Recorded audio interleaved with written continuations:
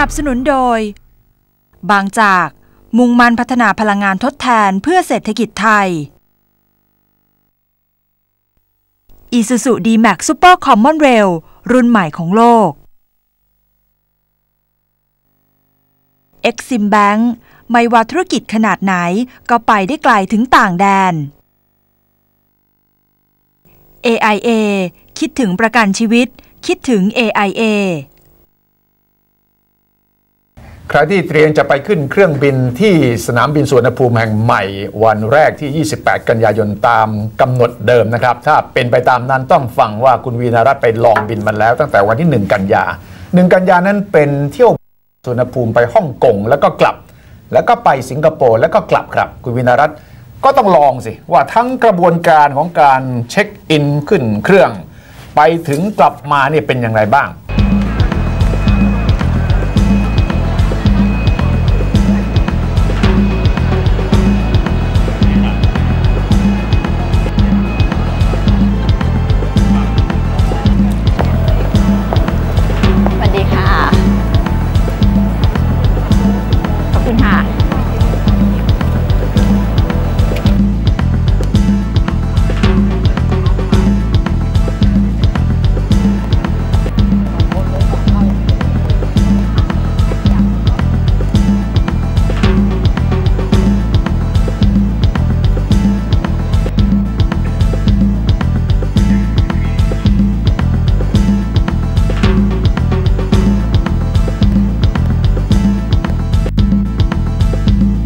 พอเดินผ่านเข้ามาแล้วนะคะ ต่อไป 2 ด้านนี้ก็น่าจะเป็นร้านค้าต่างๆนะคะ ที่เดี๋ยวก็จะเปิดให้บริการค่ะ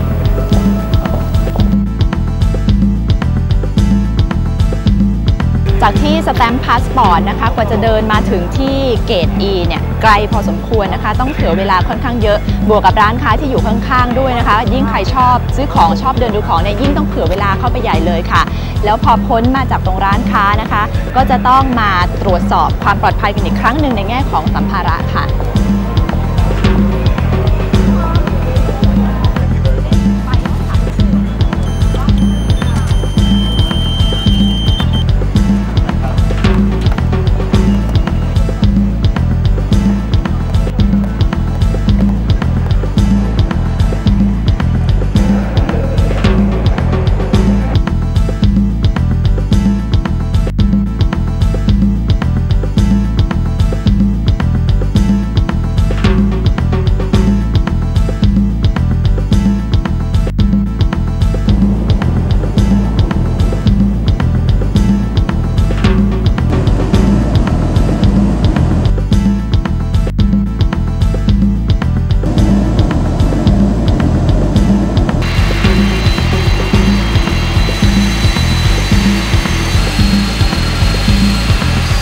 การเดินทางวันนี้ผ่านไปอย่างราบเรียบและปลอดภัยค่ะ และนับว่าเป็นการโชว์ศักยภาพของสนามบินสุวรรณภูมิ ที่สามารถรองรับการขึ้นลงพร้อมกันของเครื่องบินทั้งสองลำได้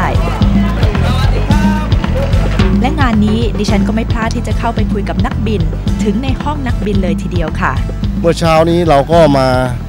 ลง 2 เส้นรันเวย์พร้อมกันนะฮะแล้วก็วิ่งขึ้นจาก 2 รันเวย์พร้อมกัน ไม่มีปัญหาเลยครับ เพราะว่า มันเป็นไปตามระยะห่างของรันเวย์ตามมาตรฐานของสากลปลอดภัยทั้งสองทั้งสองเส้น แล้วเมื่อกี้เราก็มาลงพร้อมกันอีกหนึ่งครั้ง แล้วก็ในเรื่องระบบความปลอดภัยนี่เชื่อถือได้นะครับ ป้ายบอกทางทุกชนิดดีมากครับ รวมทั้งไอ้ป้ายที่จะพาเครื่องบินเข้ามาจอดนะฮะใช้ได้ตามมาตรฐานของอการกฎการบินสากลทั่วโลกเลยครับ มุมมองของนักบินนะคะ ชอบอะไรมากที่สุดคะเกี่ยวกับสนามบินสุวรรณภูมิ ที่เห็นชัดที่สุดก็คือการใช้ ground radar ครับ มันสามารถช่วยมอนิเตอร์นักบิน รู้ว่าจุดไหนควรจะหยุดจุดไหนควรจะไป สามารถเตือนนักบินได้กรณีที่มีการผิดพลาด ถ้าอย่างนั้นวันนี้นี่รู้สึกยังไงบ้างคะ ที่ได้เป็นเที่ยวบินระหว่างประเทศ เที่ยวแรกเลยก็ว่าได้ของสนามบินสุวรรณสุวรรณภูมิ โอ้เป็นความภาคภูมิใจและประทับใจที่สุดเลยนะฮะ เชื่อได้ว่าน่าจะเป็นติดอันดับ top ของเอเชีย แล้วก็ไม่ได้แพ้สนามบินอื่นๆในยุโรปและอเมริกาเลยนะครับคนพูดถึงเรื่องปัญหาแท็กซี่ที่สนามบินแห่งใหม่ เพราะปัญหาแท็กซี่นั้นที่สนามบินเดิมที่ดอนเมืองเนี่ยก็เป็นปัญหามาอยู่ระยะหนึ่งยาวนานพอสมควร ถึงแม้จะพยายามปรับปรุงที่ดอนเมืองแล้วเนี่ยแต่ว่าคนที่เขาเดินทางบ่อยๆเขาก็ยังบ่นครับว่า ระบบมันไม่สะดวก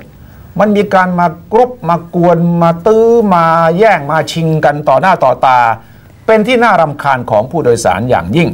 ที่ใหม่ที่สุวรรณภูมิเนี่ยที่คุณวิดารัตน์ไปเห็นเนี่ยจะดีขึ้นกว่าที่ดอนเมืองไหมครับ คือเท่าที่ไปเห็นมาก่อน 28 ก่อนใช้จริงเนี่ยนะคะ ก็เป็นจุดที่ค่อนข้างจะมีเสียงบ่นเยอะมากที่สุดเลยนะคะสำหรับการเรียกรถแท็กซี่ค่ะ เพราะว่าตอนแรกเลยนะคะ จะไม่ให้แท็กซี่มิเตอร์เนี่ย มาที่สนามบินนะคะ คุณเนี่ยก็จะต้องแบกกระเป๋า แล้วก็นั่งรถโดยสารของสนามบิน เพื่อที่จะไปยังจุด ขนส่งโดยสารก็คือที่ bus terminal แล้วก็ไปเรียกแท็กซี่ ระยะเนี่ยห่างกัน 3 กิโลเมตรนะคะ คุณก็หิ้วไปสิคะกระเป๋าของคุณ ไปไปมาๆพอคนวิพากษ์วิจารณ์เรื่องนี้เยอะมากว่าครับโอ้แบบนี้บริการแบบนี้มันใช้ไม่ได้อะนะคะ ก็เลยมีการปรับเปลี่ยนค่ะว่า ตอนนี้ก็จะอนุญาตให้แท็กซี่มิเตอร์เข้ามาวิธีนี้เราก็พยายามที่จะคอม p r o m i s e นะครับว่าเราก็ให้แท็กซี่เนี่ยไปอยู่ในหมวดหมู่ แล้วก็มาทีละเป็นรถใหญ่ ๆนะครับ มาที่เป็นรถใหญ่ ๆ จากจากวิ่งจากที่จอดรถ มาตั้งพักไว้ที่บริเวณใกล้สนามบินแล้วพอผู้โดยสารออกมาปุ๊บสามารถ service ได้ทันท่วงที อันนี้เนี่ยเราก็จัดไว้ที่บริเวณชั้นหนึ่งนะครับของอาคารพอผู้โดยสารขาเข้ามาชั้นสองก็ลงมา เพราะฉะนั้นในเวลาผู้โดยสารขาเข้ามาที่ชั้นสองเนี่ยญาติพี่น้องพี่ที่มีรถส่วนตัวอะไรจะมาเดินเข้าไปตึกอาคารจอดรถอะไรก็จะสะดวกนะครับ ส่วนที่จะมาแท็กซี่ก็เดินเดินลงมาได้เลย ก็มาเจอแท็กซี่จอดเป็นแนวตามแนวยาวเลยแล้วก็ทีนี้จะขึ้นก็ขึ้นไปนะครับ นี่คือสิ่งที่ผมอยากฝากว่าบางครั้งเราอาจจะสูญเสียความสะดวกบางอย่างไป ก็เพื่อกฎระเบียบวินัยที่ดีของสังคม ใครที่เดินทางบ่อยก็จะเห็นว่าสนามบินหลายหลายแห่งที่เขาจัดระบบแท็กซี่ได้ดีเนี่ยมันสะดวกสบายมากเลยนะครับ คุณเดินออกมาจากศุลกากรไม่ว่าจะจุดไหนเขาก็จะเขียน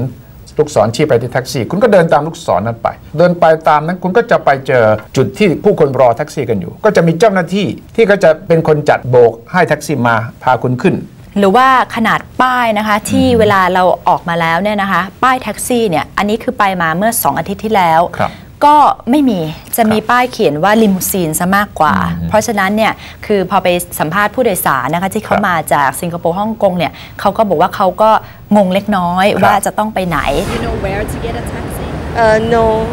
So how I did you know to come here? there was a man who pointed a piece of paper, taxi floor one. Maybe they can add some like queue, yeah, a counter or something like that. So it'll be easier to identify because I almost couldn't find a taxi line here.